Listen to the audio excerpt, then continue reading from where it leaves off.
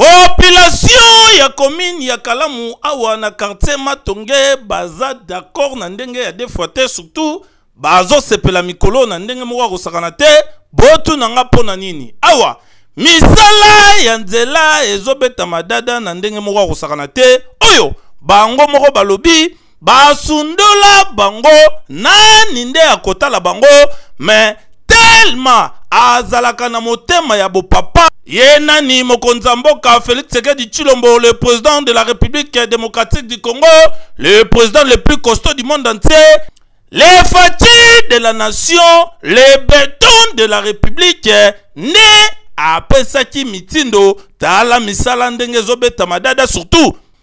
bondimela nga ke kala mingi te francophonie awa na ba république démocratique du congo mingi mingi na ville province de kinshasa tala bana matonge bana ya kalamu d'accord na ndenge ya defo te